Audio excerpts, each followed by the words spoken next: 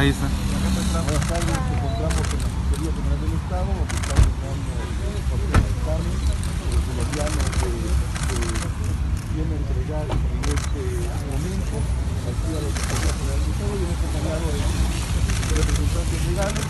Adelante, por favor. Cuidado, cuidado con la escalera, cuidado con la escalera.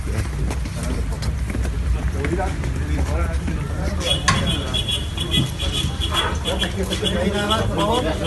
Ahí nada más, por favor.